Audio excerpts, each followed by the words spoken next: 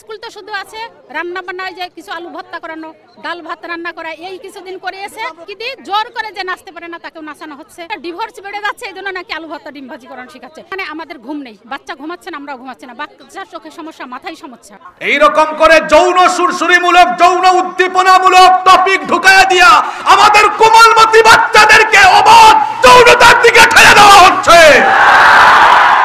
এই বিতর্কিত যৌন উদ্দীপনামূলক শিক্ষা ব্যবস্থাকে লাঠি দিয়ে ডাস্টবিনে ফেলে দিতে হবে। এবং এই দেশের দল, মত নির্বিশেষে সকল মানুষের আকাঙ্ক্ষাকে পূরণ করে একটি সুন্দর শিক্ষা ব্যবস্থা প্রণয়ন করতে হবে। যে সকল বুদ্ধিজীবী নামক বুদ্ধি প্রতিবন্ধীরা এই কারিকুলাম বানিয়েছে, খোঁজ নিয়ে দেখেন। তাদের ছেলে মেয়েরা এই কারিকুলামে পড়ে না, তারা তাদের ছেলে মেয়েদেরকে বিদেশে পাঠিয়ে উন্নত শিক্ষা দিচ্ছে। আর আমাদের ছেলেদেরকে যৌনতা শিখাচ্ছে। আমাদের ছেলে মেয়েদের হাতে এই বয়সে মোবাইল ফোন তুলে দিয়ে তাদেরকে নষ্টের পথে ধাবিত করে দেওয়া হচ্ছে। এই সুন্দর ফুল, সুন্দর ফল, মিঠা নদীর পানি, খোদা সবই তোমার? আমাদের বাচ্চাগুলো শিখছে কি? আগডুম বাগডুম ঘোড়াডুম সাজে। শিখছে হাট্টিমা টিম টিম তারা মাঠে পারে ডিম তাদের খাড়া দুটি সিং এটা লিখছে যে তারা যদি আমি পাইতাম আমার জুতা দিয়ে তারা পিটাইতাম। বিডি ওয়াজ মিডিয়া একটি ইসলামী মিডিয়া। আল্লাহ বলছেন ইকরা বিসমি রাব্বিকাল্লাযী খালাক। পড়ো। আল্লাহ শেখাচ্ছেন যে পড়ালেখা স্টার্ট হবে। পড়ো রিড পড়ো। In the name of your lord তোমার রবের নামে। যিনি তোমাকে সৃষ্টি করেছেন, তাহলে মানুষের স্রষ্টা তো আল্লাহ। মানুষ, কোরআন কি শুধু মুসলমানের জন্য এসেছে? এই কোরআন তো সাম্প্রদায়িক কিতাব নয়, এটা সার্বজনীন। সাম্প্রদায়িক হলে আল্লাহ বলতেন হুদাল্লিল মুমিনিন আউ হুদাল্লিল মুসলিমিন। এটা মুসলমান বা মুমিনদের হিদায়তের কিতাব। এমন সাম্প্রদায়িক কথা কি কোরআনে আছে? আল্লাহ বলেছেন হুদাল্লিন নাস। এটা সকল মানুষের জন্য হিদায়তের কিতাব বানিয়েছেন কি? জন্য আল্লাহ মানুষকে বলছেন, পড়ো পড়ো কার নামে তাহলে একজন মানুষ তার পড়ালেখার স্টার্টিং হবে মেথডটা হবে, সে পড়ালেখা করে প্রথমে তার স্রষ্টাকে চিনবে, স্রষ্টাকে জানবে, রবকে চিনবে, রবকে জানবে। রবের পরিচয় যদি জানতে পারে পড়ালেখায়, পড়ালেখার শুরুতেই যদি রবের পরিচয় জানে, রবের পরিচয় কি? কোরআনে আছে না নাই? রবের পরিচয় জানতে হলে রবের পরিচয় জানতে হলে হুজুর থেকে জানবেন? না। রবের পরিচয় জানতে হলে রবের কালাম থেকে জানতে হবে। রবের কি বললাম? কালাম। এই কোরআন, এটি হচ্ছে রবের কালাম। সোবাহান আল্লাহ পড়বেন না? এজন্য আমরা এটাকে বলি কালামুল্লাহ। এটা কার বাণী? তো রবের পরিচয় কোরআনে আছে না নাই? রবের পরিচয়, তিনি ইন্নাল্লাহ কানা সামিআন বাসীরা। তিনি সব শুনেন, সব দেখেন। তো এখন যদি একজন মানুষের শিক্ষা ব্যবস্থায় রবকে চেনা জানার এই সুযোগ থাকে যে আমি যদি অন্ধকারেও কোনো কাজ করি, আমার রব দেখবেন, আমি যা করছি আমার রব দেখেন, শুনেন, জানেন। এই মেথডে পড়ালেখা করে এরপরে যদি পড়াশোনা শেষে সে যদি ইঞ্জিনিয়ার হয়, তো এই ইঞ্জিনিয়ার কি রডের বদলে বাঁশ ঢুকাবে? কথা বলছেন না কেন? কারণ আমার এই বাস ঢুকানোর খবর জনগণ জানে না। জানেন কে? এটা তো পড়ালেখার শুরুতে সে জেনেছে। সে যদি ডাক্তার হয় কোনোদিন কসাই মার্কা ডাক্তার হবে? এখন তো পত্র পত্রিকায় আমরা দেখি আইসিইউতে মরা লাশও তিন চার দিন রেখেই ব্যবসা করা হয়। এরকম করবে? যদি তার কারিকুলামে মেথুডের ভেতরে রবকে চেনার রবকে জানার মাধ্যমে রবের ভয় ঢুকে যায়, তাহলে সে যদি প্রশাসনিক সেক্টরে যায়, কখনো কি দুর্নীতি করবে? বহু জায়গায় তো ফাইল এই টেবিল থেকে ওই টেবিলে আসে না। ঘুষ না দিলে। এরকম ঘুষখোর হবে? এই কথাগুলো কেন বলছি শোনেন? একাত্তর সালে স্বাধীন হয়েছে ব্রিটিশদের থেকে কাতার। আমাদের চেয়ে কত ছোট এই দেশ? অর্থনৈতিকভাবে এত সমৃদ্ধ। এত ধনী। পশ্চিমারাও তাদেরকে অনেক সময় ভয় করে কথা বলে। তাদের অর্থনৈতিক শক্তির কারণে। আমার দেশে অনেক নেয়ামত আছে তো। গোটা বাংলাদেশ ঘুরলে দেখবেন আমার বাড়ি সিলেটে চায়ের খনি সেখানে, দেশের সত্তর শতাংশ চা সিলেট থেকে আসে। শুধু তাই নয়, এখানে পাথরের খনি আছে। একদম পাথরের এলাকায় আমার গ্রামের বাড়ি। ভোলাগঞ্জের নাম শুনেছেন তো আপনারা? পাথরের খনি। আছে কয়লার খনি, জাফলংয়ে। আছে গ্যাসের খনি। উত্তরবঙ্গ গত দশ বারো দিন সফর করে এসেছি। তিস্তা বেড়ে ব্যারেজে, তিস্তা নদীতে দেখেছি বালুর মধ্যে ভুট্টার চাষ হচ্ছে, আলুর চাষ হচ্ছে। আমার দেশের এই জমিনে এমন উর্বরতার নিয়ামত দিয়েছেন কে? সবই আছে। যদি ঘুষ বন্ধ হয়ে যায়, দুর্নীতি বন্ধ হয়ে যায়, দেখবেন উন্নত হয়ে যাবে, ইনশা আর ঘুষ দুর্নীতি চলছে, এটা বুঝবেন কেমনে? আমার দেশে মহামান্য রাষ্ট্রপতি, উনি সর্বোচ্চ স্কেলে বেতন পান। মহামান্য রাষ্ট্রপতির বেতন হচ্ছে এক লক্ষ বিশ হাজার টাকা। আপনারা জানেন, যারা পড়াশোনা করেন, বিভিন্ন স্কেলে বিভিন্ন গ্রেডে প্রজাতন্ত্রের কর্মচারীদেরকে বেতন দেওয়া হয়। মহামান্য রাষ্ট্রপতি হলেন রাষ্ট্রের সর্বোচ্চ অভিভাবক। ওনার বেতন যদি এক লক্ষ বিশ হাজার টাকা হয়, তাহলে ওনার চেয়ে সবাই তো নিচের ক্যাটাগরিতে। ওনাদের বেতন কম হওয়ার কথা না বেশি হওয়ার কথা? তাহলে কেউ যদি সৎভাবে চাকরি করে, ঘুষ না খায়, দুর্নীতি না করে, তাহলে বলেন তো, তার কি আসলে চাকরির পাশাপাশি অন্য কোনো কাজ না করলে সম্ভব? আপনারা তো অনেকেই দেখেছেন সরকারি চাকরি করে পঞ্চাশ, ষাট হাজার টাকা বেতন পায়। হাতের মধ্যে দুইটা, তিনটা আইফোন নিয়ে ঘুরে। হাতে অ্যাপল ওয়াচ সে যে বেতন পায়, তার নিজের খরচ, তার বউ বাচ্চার খরচ সামলিয়ে একটা আইফোন কিনতে তার তিন বছর লাগবে। সেখানে দুইটা, তিনটা আইফোন ব্যবহার করে। হাতের মধ্যে অ্যাপল ওয়াচ গাড়ি, বাড়ি সব আছে। এটা মানুষ সবই জানে, এগুলো ঘুষ, দুর্নীতি আর হারাম খুরের টাকা। সরকারি চাকরির পাশাপাশি কেউ অন্যান্য কাজ না করলে তার বাপের জন্ম সেতে সে কখনো কুটিপতি হতে পারবে না। তাহলে বুঝা গেল, রবের শিক্ষা লাভ করলে, রবের পরিচয় জানলে, আল্লাহ ভীতি তাকো আল্লাহর ভয় ঢুকে গেলে কখনোই সে অন্যায়, অপরাধ করবে। এই জন্য আল্লাহ তালা বলছেন, পড়াশোনাটা ঠিক করে ফেলো। পড়াশোনার ভেতরে যদি রবের পরিচয় জানে, পড়াশোনার ভেতরে যদি আল্লাহ ভীতির এক, আল্লাহ ভীতি অর্জনের সুযোগ থাকে সিস্টেম থাকে, তাহলে এর প্রভাব সমাজের সকল জায়গায় পড়ার সম্ভাবনা আছে না নাই? বলেন তো, বাংলাদেশের কোন হুজুর বেগম পাড়ায় বাড়ি বানিয়েছে? আছে? কথা বলেন না কেন? কেউ বেগম পাড়ায় বাড়ি বানায় নাই? এই বাংলাদেশের কোন হুজুর দেশের টাকা বিদেশে পাচার করে নাই, বরঞ্চ বিশ্ববিদ্যালয় পড়ুয়ারা যারা মাদ্রাসা শিক্ষাকে অবহেলা করে বিশ্ববিদ্যালয় পড়ুয়ারা এরা সর্বোচ্চ জায়গায় অধিষ্ঠিত হয়ে চুরি ডাকাতি লুটপাট করে বেগম পাড়ায় বাড়ি বানিয়েছে। তাহলে বোঝা গেল মাদ্রাসা শিক্ষা ব্যবস্থা কিংবা যে শিক্ষা ব্যবস্থায় দিন বুঝার সুযোগ আছে, সেই শিক্ষা ব্যবস্থায় মানুষ যখন বড় হয়, ভালো কোনো পুষ্টে যায়, সেখানে চুরি ডাকাতির কোনো সম্ভাবনা এই জন্য আল্লাহ তালা কোরআন নাজিলের সূচনা করেছেন শিক্ষা ব্যবস্থার রূপরেখা দিয়ে।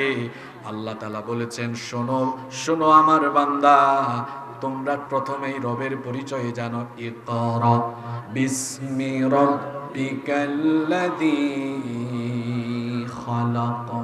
পড়ো তোমার রবের নামে যিনি তোমাকে সৃষ্টি করেছেন। প্রথমে আল্লাহ রবের পরিচয় দিলেন। রবের পরিচয় দিয়ে বললেন, রবকে চিনো, রবকে জানো, রবের নামে পড়ো। এখন বলেন তো এই মাহফিল কোনো রাজনীতির জায়গা না। এখানে সকল দলের মানুষ আছেন। আমিও কোনো রাজনৈতিক ব্যক্তি না। কোরআন হলো আমাদের সবার, ঠিক কিনা এখন বলেন তো, সবাই একটু মনোযোগ দিয়ে উত্তর দিবেন, বুঝে শুনে উত্তর দিবেন। আল্লাহ তালা বললেন, পড়ো তোমার রবের নামে। এখন বলেন তো, রবকে চিনা জানার ব্যবস্থা কি আমাদের শিক্ষার ভেতরে আছে নাকি? আছে। গত দুই বছর ধরে অভিভাবকরা আন্দোলন করছেন। করছেন না? অনেক এমপি সাহেবরা, মন্ত্রী সাহেবরা পর্যন্ত আমি শুনেছি, পার্লামেন্টে তারা নতুন এই কারিকুলামের বিরোধিতা করেছেন। করেন নাই? আপনারা সাক্ষী করেছেন। এই যে কারিকুলামের ভেতরে কি ঢুকিয়ে দেওয়া হলো? গত কয়েক সপ্তাহ ধরে আপনারা একটা ভিডিও দেখছেন, খুব ভাইরাল হয়েছে। এক মহিলা বলছেন যে, স্কুলে আমার সিক্সে পড়ুয়া মেয়েকে ডিমবাজি শেখানো হচ্ছে। ভাত কীভাবে রান্না করে সেটা শেখানো হচ্ছে। তো জীবন ও জীবিকা একটা সাবজেক্টও আছে। তা আমাদের একটা অভ্যাস হলো, আমরা যেটা বলি, একটু পড়াশোনা করে তারপরে বলি। আমি আস্তে আস্তে সিক্স সেভেনের সবগুলো বই আজকে পড়ে পড়ে এসেছি। এবং সবগুলা পিডিএফ আপনি সবগুলো বইয়ের পিডিএফ আপনি কিন্তু শিক্ষা বোর্ডের ওয়েবসাইটে পাবেন। আমি এগুলো পড়লাম। এই যে এখানে অনেকগুলো বই আছে। সব বই বই আমি পড়েছি স্ক্রিনশটও দিয়ে রেখেছি। তা ডিমবাজি কি কীভাবে করবে? ভাত রান্না কীভাবে করবে? এটা কি স্কুলের দায়িত্ব না মায়ের দায়িত্ব? তারপরে কীভাবে ঘুম থেকে উঠতে হয়? ঘুমের থেকে উঠে বিছানা গুছাইতে হয়। এটা কি পারিবারিক শিক্ষা না একাডেমিক শিক্ষা? নিশ্চয়ই আপনারা দেখেছেন ফেসবুকে ইউটিউবে ভিডিওটা আছে। স্কুলের মধ্যে বেঞ্চ একত্রিত করে একটা খাটের মতো বানানো হয়েছে। তারপর সেখানে একটা বিছানা চাদর দিয়ে বালিশ দেওয়া হয়েছে। একটা মেয়ে সিক্সে বা সেভেনে পড়ে, সে দেখাল যে কীভাবে শুইতে হয় সেটা আমি দেখাবো, আবার কীভাবে ঘুম থেকে উঠতে হয় দেখাবো। তারপর সে খাটের উপর বসল, বলল, ঘুমানোর আগে একটু এভাবে করে করে ঘুমাই যেতে হয়। তারপর ঘুমাইলো তারপরে তার উপরে একটা কাঁথা নিল। আপনারা হাসতেছেন, আমি হাসার কথা বলছি? এরপরে বলল, ঘুমের থেকে এইভাবে উঠতে হয়। এরপরে উঠে গেল। তারপরে সে বলল, ঘুমের থেকে উঠে নিজের বিছানাকে গুছাতে হয়। কথাগুলো তো সুন্দর আসলে ভালো না? বিছাতে হয়, বিছানা সেট করতে হয়। এখন এটা কি স্কুলে পড়ার জিনিস না বাসায় শেখার জিনিস? আপনারা কি আমার কথা রাগ করছেন? এগুলো কি আগে কখনো ছিল? এগুলো শিখছে। শুধু তাই নয়। শুধু তাই নয়, এখানে তো সিক্স সেভেন সিক্স সেভেনে পড়ে এরকম ছেলে মেয়েদের বাবারা এখানে আছেন না? আমি কি কথাগুলো বানিয়ে বলছি? মানুষ এখন ভাত খেতে পারছে না, কোথায় আলুর দাম?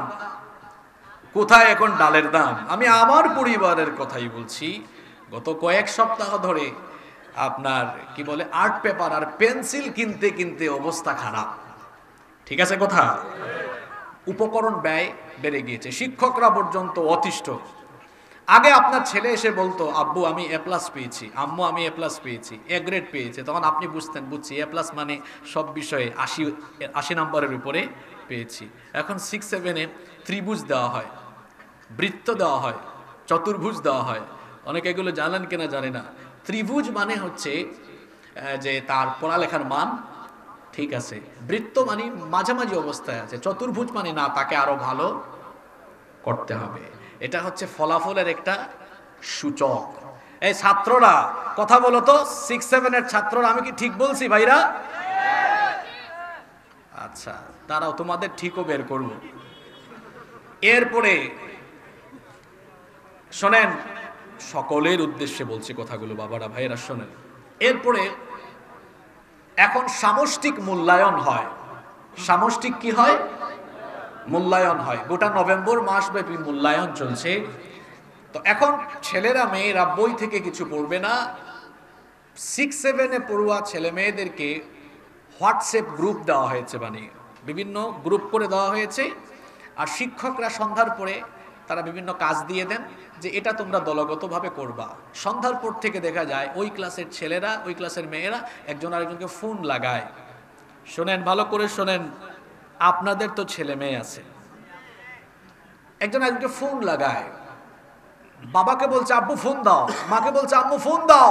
বলছে বাবা, ফোন কেন? মা, ফোন কেন? আমার অ্যাসাইনমেন্ট করতে হবে।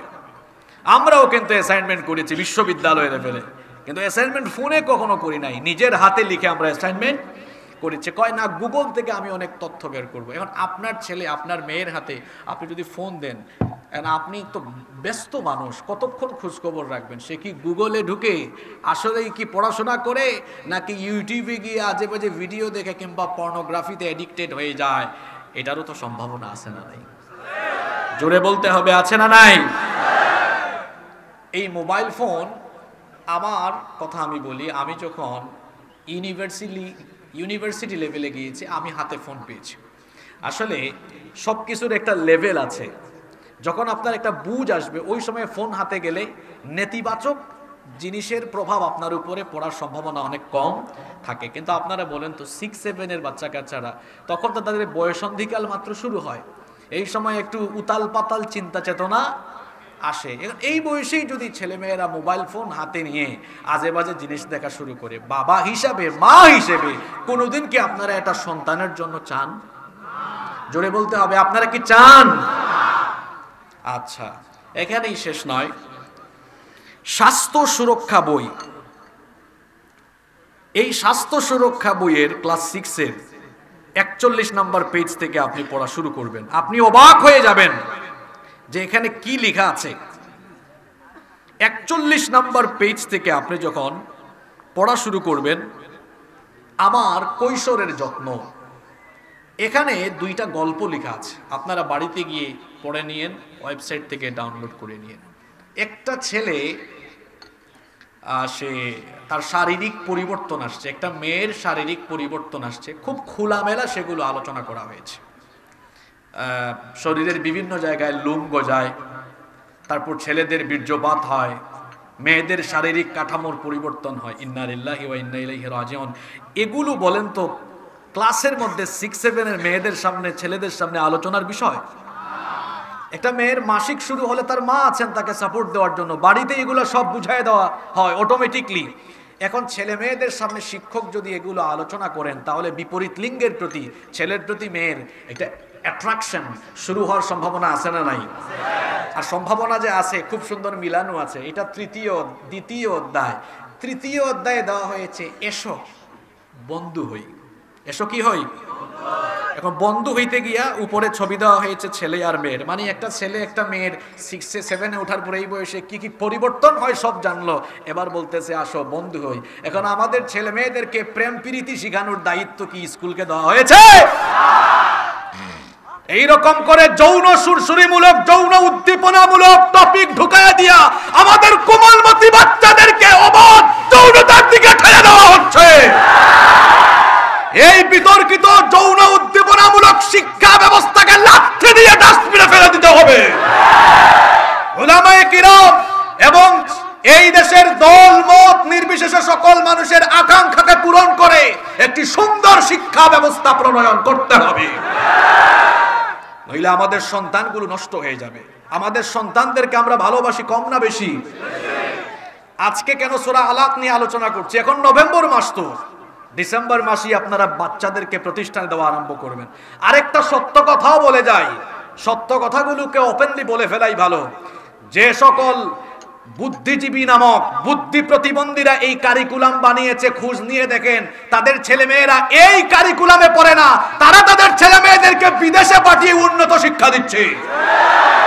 আর আমাদের ছেলেদেরকে যৌনতা শিখাচ্ছে। আমাদের ছেলে মেয়েদের হাতে এই বয়সে মোবাইল ফোন তুলে দিয়ে তাদেরকে নষ্টের পথে ধাবিত করে দেওয়া হচ্ছে। শিক্ষা হওয়া উচিত এমন যে শিক্ষার মাধ্যমে আমার ছেলে মেয়ে ভদ্র হবে। আমার ছেলে মেয়ে সভ্যতা শিখবে, ভদ্রতা শিখবে। আমরা ছোটবেলায় যখন পড়েছি, যাদের বয়স বিশ পঁচিশের উপরে বলেন, কি শিখেছেন আপনারা? আমাদের দেশে হবে সেই ছেলে কবে? কথায় না বড় হয়ে? তুলি দুই হাত, করি মুনাজাত, হেরোহিম রহমান। শিখছেন কিনা আপনারা? এই সুন্দর ফুল, সুন্দর ফল, মিঠা নদীর পানি, খোদা সবই তোমার? আমাদের বাচ্চাগুলো শিখছে কি? আগডুম, বাগডুম, ঘোড়াডুম সাজে। শিখছে হাট্টিমা টিম টিম, তারা মাঠে পারে ডিম, তাদের খাড়া দুটি সিং এটা লিখছে যে তারা যদি আমি পাইতাম আমার জুতা দিয়ে তারা পিটাইতাম। এই জন্য বলেছি, বলেন তো শিং আছে এমন কোন প্রাণীর ডিম পাড়তে দেখেছেন কোনোদিন?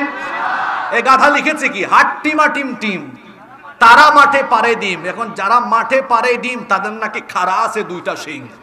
ব্যাককল, শিং আছে গরু, মহিষ, ছাগল, এগুলো ডিম পাড়তে দেখেছেন আপনারা? শিং আছে এমন কোন প্রাণী, ডিম পারে না। এরকম আজগুবি আজগুবি তথ্য। ডারউইনের বিবর্তনবাদ তথ্যকে বিজ্ঞান বহু আগে ডাস্টবিনে ফেলে দিয়েছে। আর আমার দেশের কিছু বুদ্ধি প্রতিবন্ধী ডাস্টবিন থেকে কুড়িয়ে এনে তারপর শেখাচ্ছে, মানুষের পূর্বপুরুষ বান্দর ছিল। তা আমিও বলেছিলাম, এই চিন্তায় যারা বিশ্বাস করে, তারা মানুষের সমাজে বসবাস করে কেন? এরা মানুষের সমাজ ছেড়ে দিয়ে সুন্দরবনে গিয়ে বান্দরের সাথে, জাতিবাহীদের সাথে তাদের বসবাস করা উচিত।